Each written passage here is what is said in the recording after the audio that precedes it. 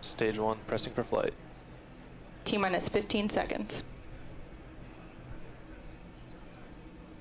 10, 9, 8, 7, 6, 5, 4, 3, 2, 1.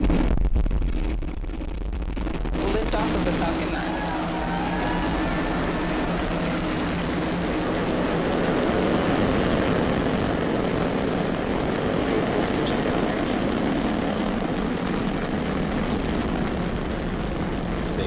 Staying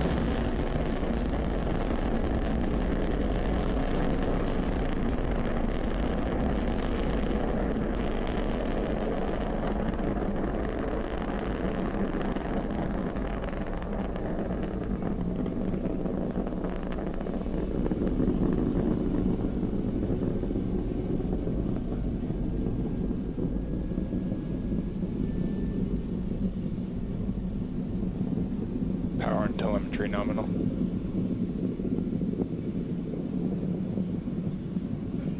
Vehicles Falcon designed. 9 has cleared the tower and is now headed upward on its mission to sun synchronous low Earth orbit.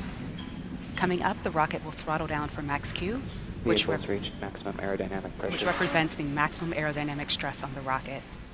We're now headed into a series of events that will occur in rapid succession. That's MECO, stage separation, and SES-1, or second engine start 1.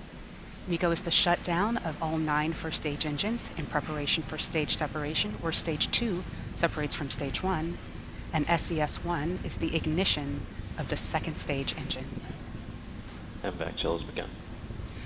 Following All right, acquisition SES-1, we will turn our attention back to the returning first stage, which will relight three of its engines in a boost back burn to head back towards the drone ship. And then finally, we'll see fairing fairing deployment at T plus 2 minutes and 43 seconds. As mentioned earlier in this webcast, we're attempting, attempting to recover the payload fairing, and while we will not have a live video feed of this attempt, we'll share updates as they become available. So in about 20 seconds, you'll hear the call out from MECO. Let's listen in.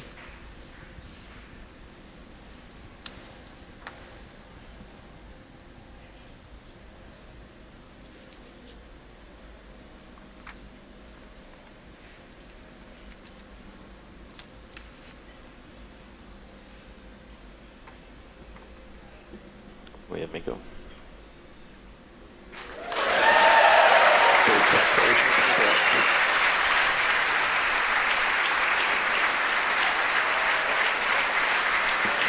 And as you just saw, we had a successful main engine cutoff, stage separation, as well as ignition of that second stage engine. And there goes that fairing. And there you can see all 64 of those satellites on stage two headed to sun synchronous orbit.